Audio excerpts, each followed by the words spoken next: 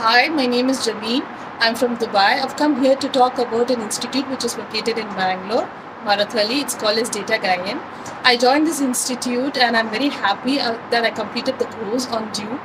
And about this institute, there are three things which I would discuss. This institute is for people who are uh, very serious in, uh, in changing their job field, for working mothers, for students who have finished college and have no idea how to develop their careers they are very good, excellent in giving career guidance, and I joined business and data analyst up here.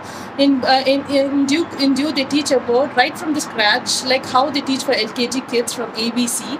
They teach you about SQL, Advanced Excel, Python, and about Tableau right from starting, from the scratch to the top level.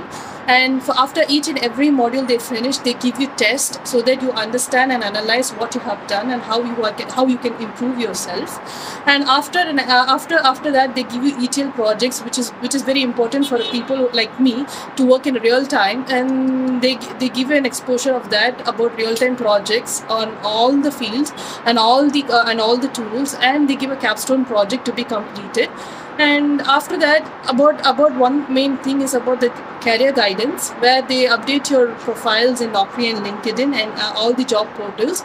And they give you career guidance on how to talk to the interview in, in an interview. And that was very helpful for me.